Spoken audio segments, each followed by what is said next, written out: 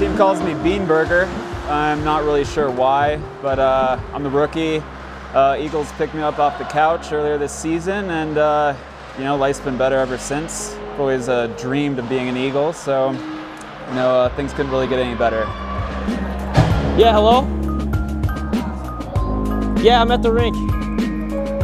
Yeah, I'm about to do this interview for ESPN. It's a 30 for 30. 30 for 30 special on the Eagles. Yeah.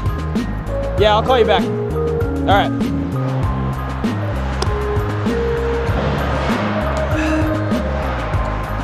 Are we rolling? Oh. Um, yeah, uh, people say I take the Essex Eagles too seriously. I don't really know what they're talking about. I mean, I'm just an average player in an average league trying to do average things.